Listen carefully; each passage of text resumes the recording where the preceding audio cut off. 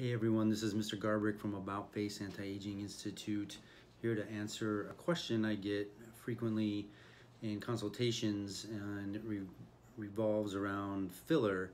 And the question is is do you save uh, filler? Meaning let's say you came in and you wanted to get um, a filler but you didn't want the whole syringe it comes in a syringe and could you save it for later treatment and I've actually heard people say that they've been to other places where uh, they they do save syringes or partially used syringes um, for use either on that patient or um, on a different patient. And the answer to that is absolutely not. Um, filler comes um, typically well it comes in a package like this uh, and one syringe in a package and it's sealed.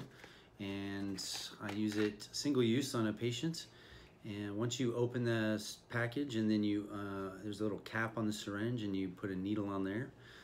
Uh, and then you do your injections. And so periodically through the injections, I will um, sometimes need to pull back on the syringe. It's called aspirate.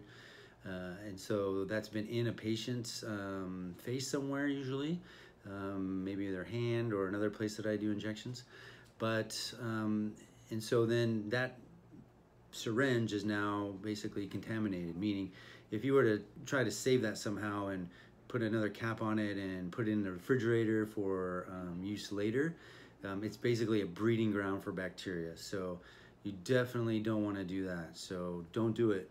Um, I never do it and I wouldn't recommend you do it. So if you go to a place that's doing that, um, you want to uh, look for a more reputable place that doesn't do that. Again, the manufacturer recommends uh, single use only um, and that's why. So, all right, guys, well, I hope that helped, and uh, I will talk to you soon. All right, bye.